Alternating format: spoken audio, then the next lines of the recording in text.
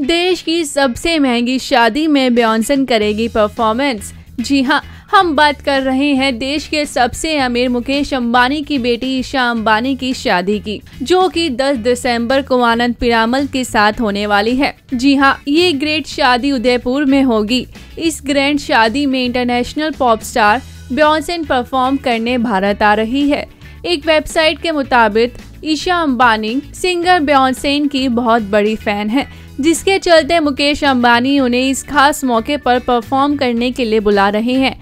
Reports की माने तो ब्यॉन्सेन को परफॉर्म के लिए भारी रकम भी दी जाएगी। ईशा और आनंद की सगाई के फ़ंक्शन तीन दिन तक चले थे, जिसमें अमेरिकन म्यूजिशियन जॉन लीजेंड और ए आर रहमान ने परफॉर्म किया था।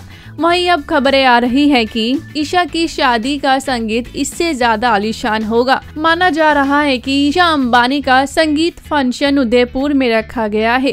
कहा जा रहा है कि शादी 10 दिसंबर को होगी, जहाँ ब्यॉन्सेन को लाइव परफॉर्म करने के लिए 15 करोड़ रुपए दिए जा रहे हैं। ऐसे में हम अंदाज़ा लगा सकते हैं कि ईशा अंबानी की शादी कितनी भव्य होने वाली है। इस वीडियो में इतना ही। मैं योगिता शर्मा, पंजाब केसरी, दिल्ली से।